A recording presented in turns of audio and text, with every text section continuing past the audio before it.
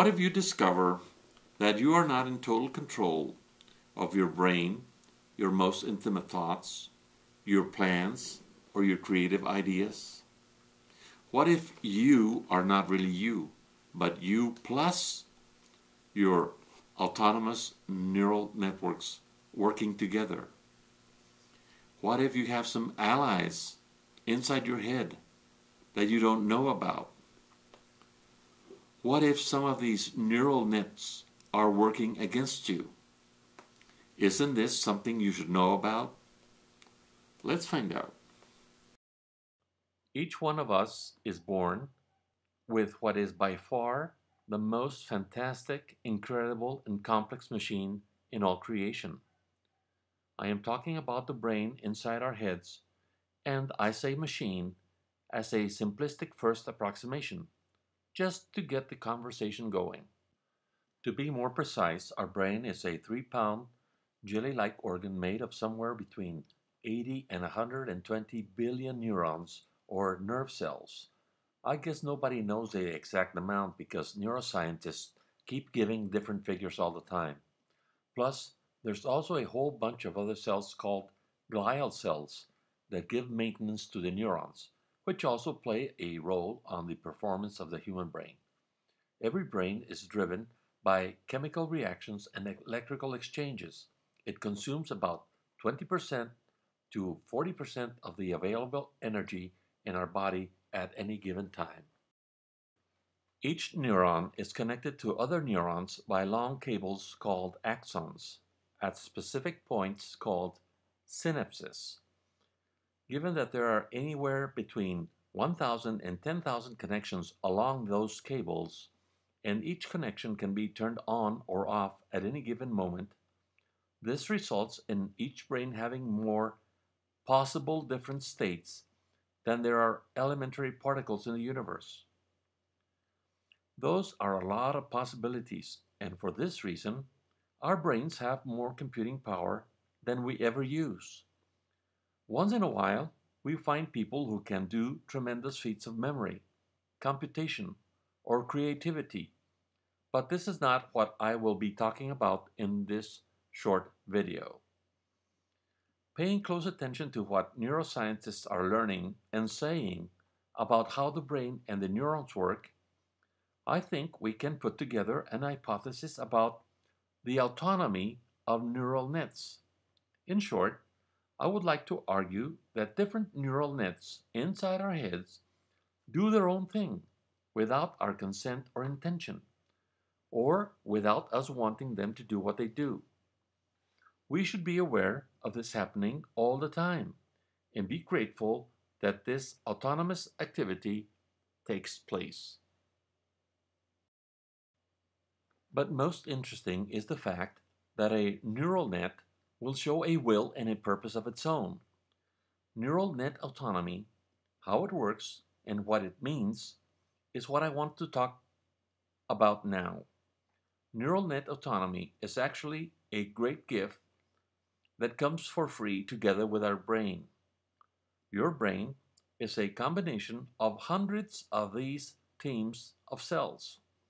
It is all of them together that make you be you and not someone else. Human neural net autonomy, that is, little parts of your brain working on their own, choosing their own goals, explains many things about how our whole brain works. You are the beneficiary of the autonomous activity of your neural nets. Other times, you can be the victim of these neural nets running wild. Nothing happens inside your brain without neural nets being a part of that. Nothing happens in your brain without several neural nets working together. Take your vision for example. Nervous signals with different intensities are sent from the cornea to the brain, where they are translated by many other neural nets working together to produce an image. For you to see something, it requires several layers of neural nets working together to produce an image. This happens in the primary visual cortex region in the back of your head. One neural net specializes on black and white images, another on contrast, another identifies edges, and so on. From this region, it is sent to more than 30 other sites to make sense of them, placing them in space and time, and comparing them to previously stored experiences. Another network puts it all together to produce the 3D high resolution images that flow through your head while you are awake. The same is true about the way your sense of hearing works, or your sense of touch. Different neural nets detected by magnetic resonance images as small specific regions in your brain are activated when external impulses are processed to produce awareness. You are constantly building and rebuilding your perceptions of the world around you, updating the information in real time. These features of the brain are what allows us to learn and respond appropriately to the demands of our environment. So, what evidence is there to say that some neural nets act on their own? I would say there is plenty of evidence. Before we go into that, we must first realize that neurons are very sociable cells. Neurons are born and built to connect. They rapidly form neural nets, teams with other neurons. It is their nature to be sociable. In fact, we know that when the brain is growing inside a baby who is inside the womb of his mother, neurons compete to connect with each other as much as possible. The neurons that fail to connect or do not connect well proceed to activate an internal mechanism that self destroys them. This process is called apoptosis and translates as the suicide of a neuron because of a lack of enough connections to other neurons. Neurons love to connect. Those that do not commit suicide. The metaphorical image I want you to use at this point is simple. Neurons that become sad because they are lonely or disconnected to other neurons commit suicide and get out of the way and stop wasting valuable energy. If neurons commit suicide when they are disconnected, this means also that they must keep busy looking for connections all the time. The same is true for neural nets. They want to connect and make, make sense all the time. This is one reason for saying that brains are built to learn, and nothing is as pleasurable as an aha moment when everything comes together inside your head.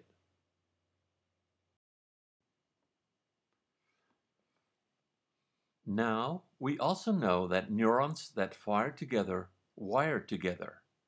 This means that synaptic connections are strengthened each time that firing between two neurons takes place simultaneously. As a person masters certain physical activities, deeper and more trustworthy pathways are created in the brain, much in the same way as a river carves its own riverbed. In practical terms, fighting together means becoming buddies and saving each other from suicide. The next step is simple neurons tend to fire together more often when whatever it is that they do together is successful. Neurons get dopamine doses, a natural opiate from other neurons, as a reward for success of any sort, and that is in itself helping to strengthen the mutual connections between neurons. This is a self reinforcing cycle, and this is the reason why a fully developed brain has established channels where signals flow with certain regularity. Since we are interested in pinpointing autonomous neural net activity, then we must first be clear about what it is to be conscious, or to describe conscious mental activity. Your mind, says Antonio Damasio, is a flow of mental images. When that flow includes a reference to you as the author of that flow, then you are being conscious. A conscious mind is a mind with a self in it. To produce the conscious mind, you need the convergence of two flows of signals or inputs into one region of the brain called the reticular activating system, or RAS. On the one hand, traveling upwards from your spinal cord are all the messages with information about your internal milieu. The management report of how your body is doing, so to speak. This information has to be quite stable because the physiological limits of the human body are very strict. Then you have the information coming from the neocortex traveling downwards. Both informations meet at the RAS and produce the film or 3D ultra high resolution video that flows through your mind when you are awake. Given brain specialization, the same regions used by the brain to create images are the same regions used to produce and reproduce the images from memory. Also converging is the information captured by your senses of eyesight, hearing, as well as the maps created in your mind that allow you to know where you are and where is your body in relation to your environment. Neural nets constantly make maps of everything that surrounds you and also maps of everything within you. Information about your body's internal environment is constantly updated and used to give you the reference point needed to produce a permanent identity. As I said, this occurs in the reticular activating system that includes the midbrain and pons. When these two sources of information, upwards from your spinal cord and downwards from your neocortex, the newer part of the brain, come together in the reticular activating system, they produce your consciousness. Consciousness is the video playing in your head with everything that is going on around you and tied to a unique internal you, which you have as a reference for everything that is going on outside. The feature that we are interested in the most is that this activity is done without any conscious effort of your own, but it gives you your awareness of the situation you are in at any given moment. So, it turns out that you are the emergent property of many neural nets working together, and you appear to take care of what your body does in its external environment. Very well, so let's proceed to the examples of neural net autonomy. The most obvious proof that neural nets have a will of their own, that they are busy even if you are not doing anything in particular, is the electrical activity in the synapses captured by an electroencephalogram, or EEG. More accurate and detailed still are the functional magnetic resonance, or fMRI images, which show different areas of the brain as they are activated in connection to the processing of images, sounds, memories, emotions, or motor activity. The fMRI captures the consumption of oxygen when neurons are active. Another example of neural nets acting autonomously is when we dream. Dreaming has nothing to do with our conscious decision making. Your reticular activating system is turned off. However, when you produce a dream and you see an image in your head, this is proof of a neural net playing a video without your consciousness having anything to do with it. I find this third example very appealing. it is something that happens to many people. They go to bed with a problem of some sort and wake up in the middle of the night or in the morning with a solution. Sometimes you are trying to recall a name or a number or an address and you find it plenty of time after you gave up trying to remember. This means that somehow a neural net was triggered to search for the answer. The only possible explanation is that a very specific network tried a series of connections until, alas, a successful connection was identified and it is displayed as a recordable image. This means that one neural net sets the problem, another network searches for the answer, and the messages with the findings get back to their neural net that posed the problem and now makes a match with the solution. Then another neural net stored the solution for you to remember in the morning.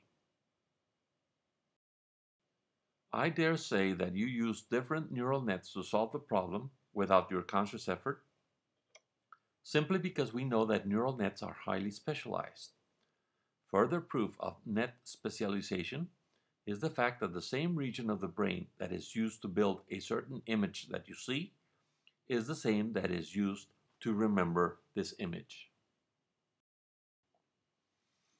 A fourth example of neural net autonomy I take from a TED conference by Oliver Sacks.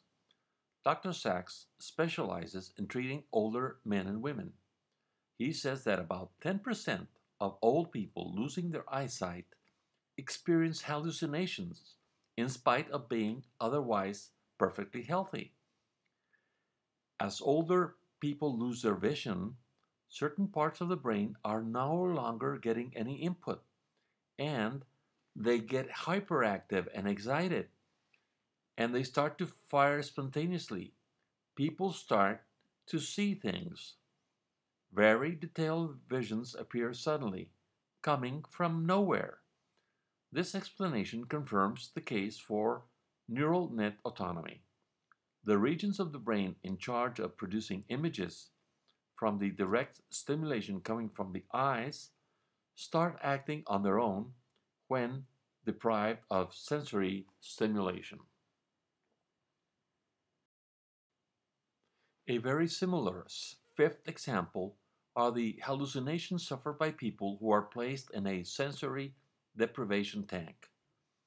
Prolonged submersion in a noiseless and dark tank with water or oil, which is at the correct temperature, sends the deprived brain into a frenzy of self produced images.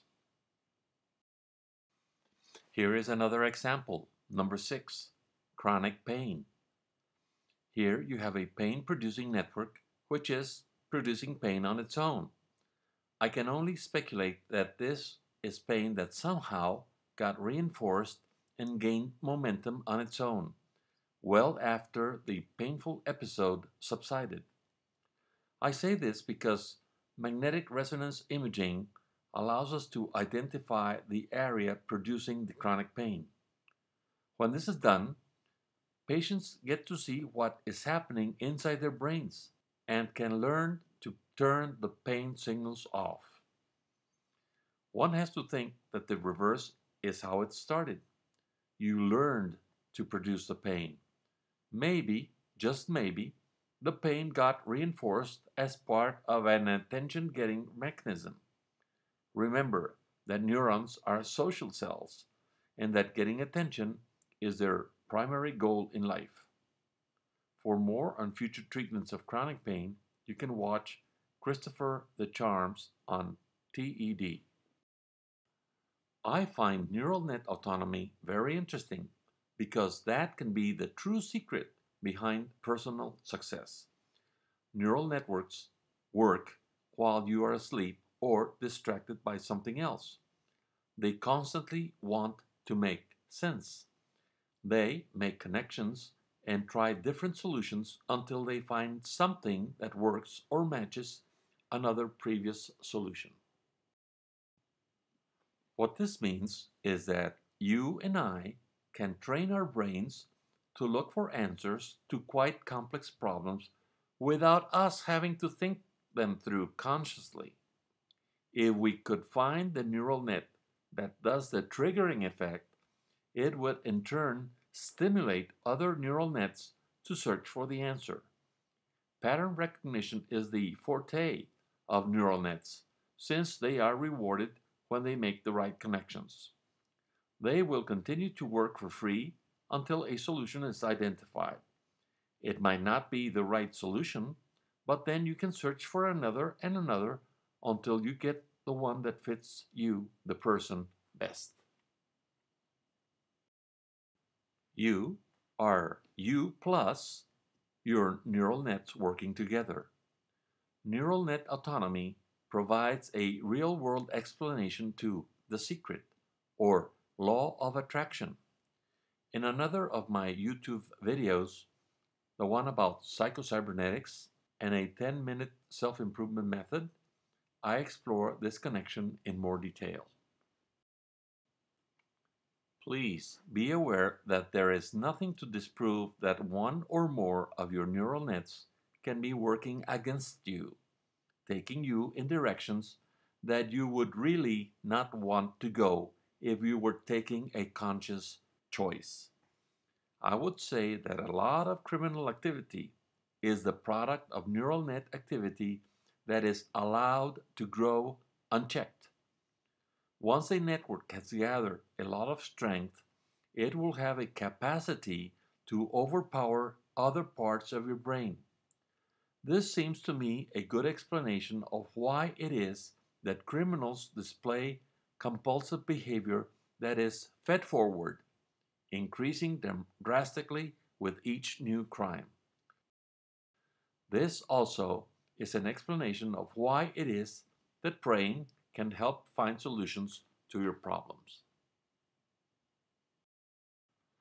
Human neural net autonomy is a very powerful tool that different parts of your brain can give you, so you can use at your leisure.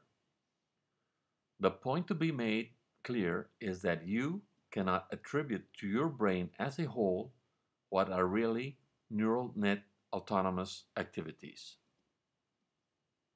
That's it.